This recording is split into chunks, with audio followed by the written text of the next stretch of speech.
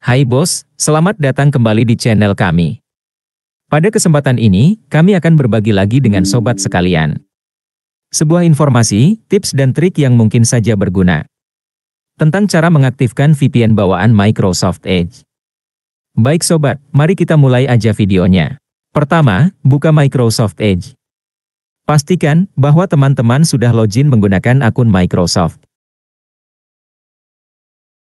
Di pojok kanan atas, ada ikon model Love yang dikenal dengan browser esensial. Klik di situ dan geser ke bawah. Pada bagian bawah, ada VPN. Perhatikan di bagian VPN, di sana, kelihatan bahwa VPN masih belum aktif. Sekarang, aktifkan VPN dengan menggeser tombol warna hitam tersebut. Jika warna berubah menjadi biru, berarti VPN sudah aktif.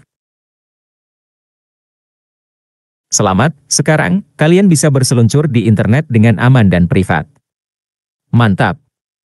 Demikian tutorial singkat dari saya tentang cara mengaktifkan VPN bawaan di Microsoft Edge. Semoga bermanfaat.